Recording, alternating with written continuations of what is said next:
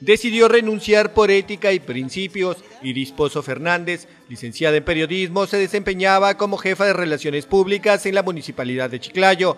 Ayer por la mañana decidió renunciar al cargo, pues le exigían hacer una bolsa para la alcaldesa de Chiclayo, Elizabeth Montenegro Dávila.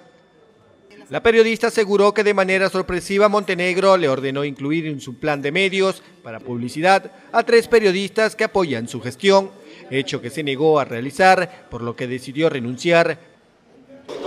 Sí, y, aparte de eso es que se supone que cuando tú vas a trabajar y tienes un cargo de confianza, tienes toda la libertad para poder hacer un trabajo que es sobre todo manejándolo con ética y teniendo bastante cuidado en las cosas que se va a hacer, ¿verdad? Entonces lo que se quería era eh, hacer.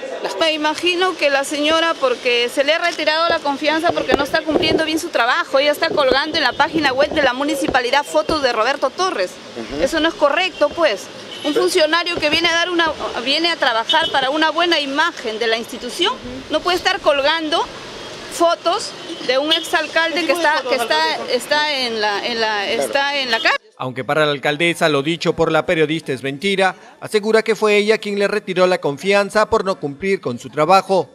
Bueno, son cosas que cuando ya están en contra de tus principios, están en contra de tus normas, tus valores, tu ética, y está en juego también ya tu nombre, tu carrera, es mejor dar un paso al costado.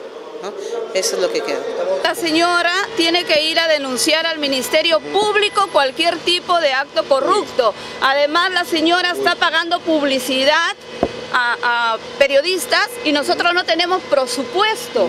No podemos estar pagando a periodistas, sobre todo ya finalizando el año. No tenemos ni presupuesto para estar malversando fondos. Pozo Fernández incluyó en su plan de medios a 23 periodistas. La alcaldesa pretendía hacer ingresar a tres medios de prensa más, hecho que causó la molestia de Iris Pozo. El hecho sería denunciado ante el Ministerio Público.